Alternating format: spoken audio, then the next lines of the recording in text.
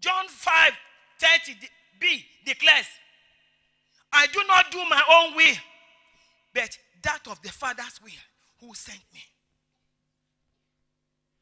Why? Why did he say that? Because he knows that he has been consecrated.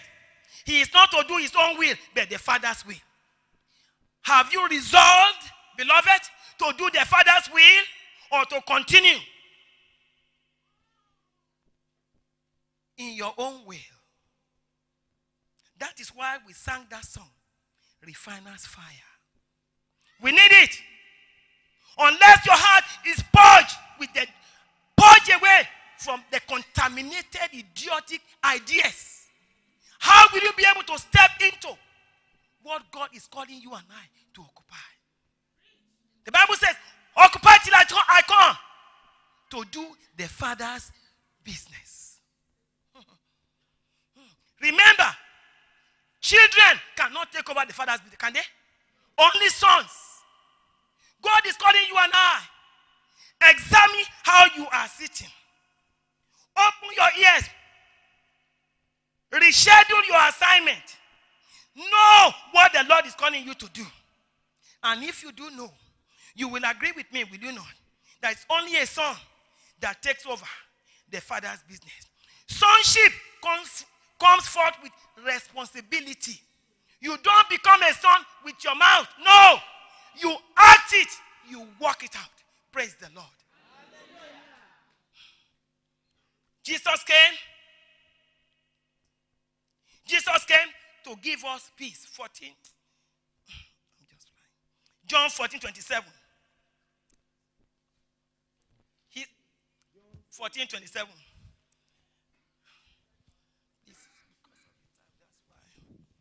John 14, 27. Yes. It says, Peace I leave with you, mm. my peace I give unto you, not as the world giveth, give I unto you. Let not your heart be troubled, neither let it be afraid. It's okay. Thank you. God bless you.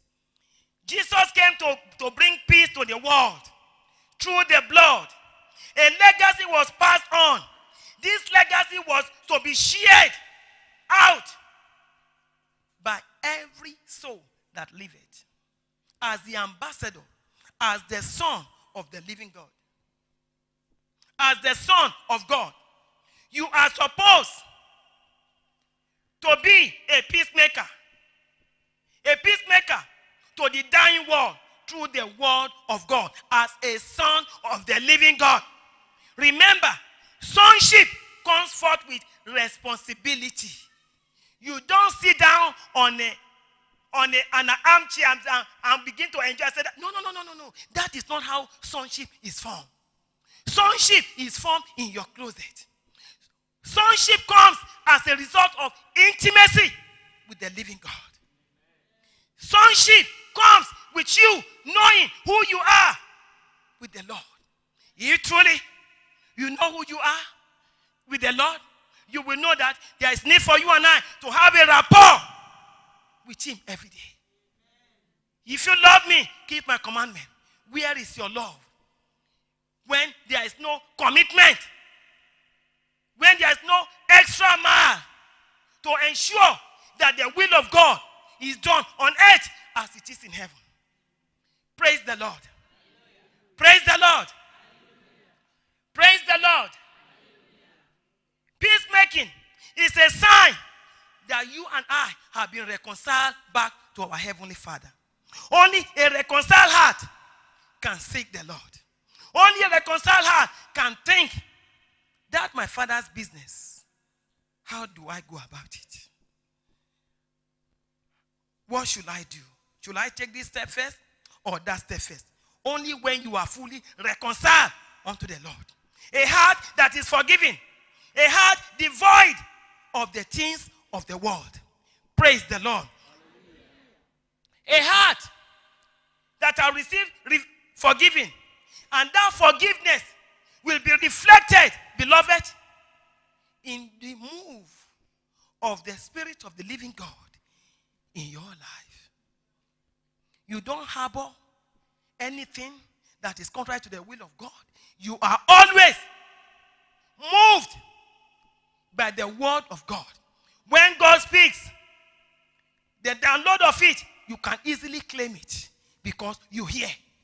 When God gives you a prompting, you know what God is talking about.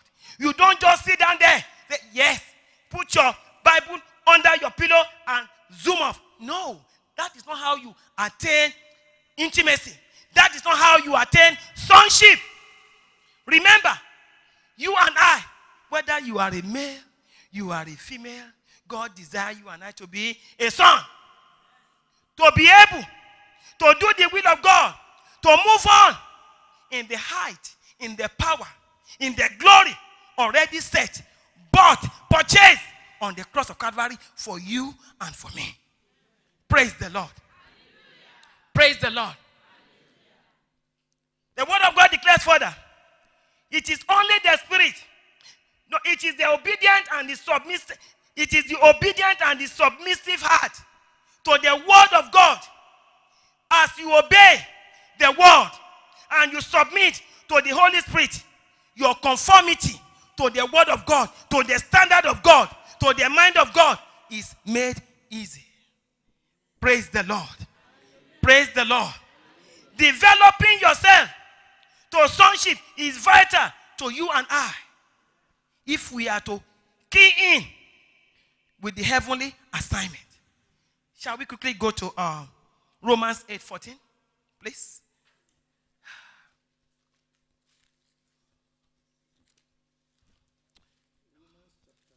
Fourteen. Yes. Romans chapter 8, verse 14. It says, For as many as are led by the Spirit of God, they are the sons of God. Praise the Lord. As many as are led by the Spirit of who? Are called the sons of God. Why? Because our Heavenly Father wants to daily download Himself to you and I. Praise the Lord. The Lord does not want you to be barren. No way.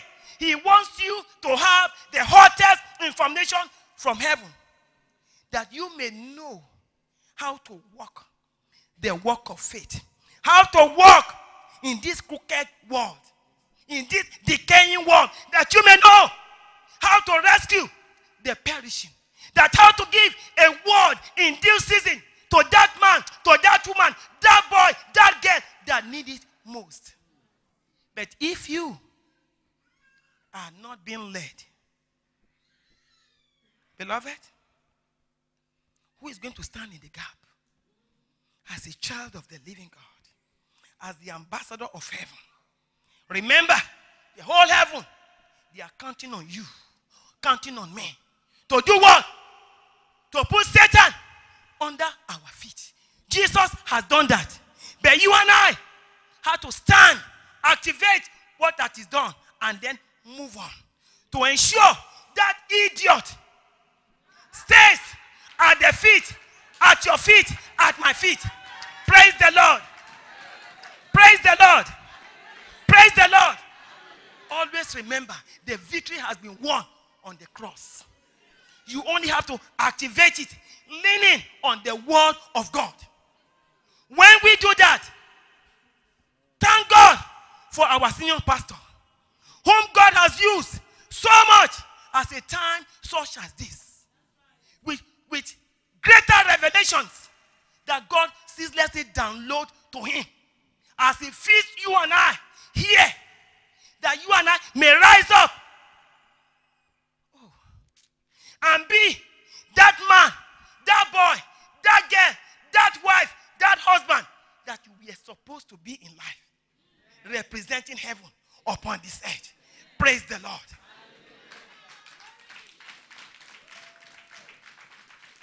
As a son, part of the family's business is to tear down every wall of opposition, visible and invisible. Hmm. Things that divide you and I, like gossip, sowing a seed of discord, backbiting, casting others down that you may move up. Beloved, mm, whether you are number one million, whether you are number one, God is not interested. Where God is interested is your heart. Your heart condition. If your heart is right, He can handpick you, put you in a place. We don't need to run each other down. We don't need to backbite. We don't need to destroy others with our tongue. It is not only those that hold a cutlass or a gun that kills. Many kills with their own tongue. Many kills with their own eyes. They only blink, and you know what that means.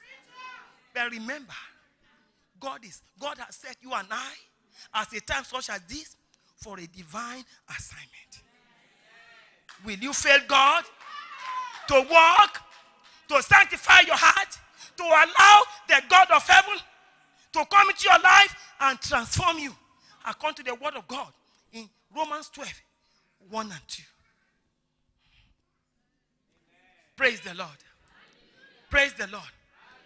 Remember, we have to stop it. Casting others down to gain favor with our tongue. Stop it. And don't you ever dare do it again. Let us fan the flame of agape love. Jesus came. There are different types of love. You have the, the love between a husband and a wife, two friends, a, a mother and a child. I'm not interested in those. The love that God wants you and I to have to build up the body of Christ is the agape love. A love that does not require another thing from it. A love that is given selfishly, selfless, selflessly. A love not given selfishly, but selflessly. A love that is given without looking for any gain.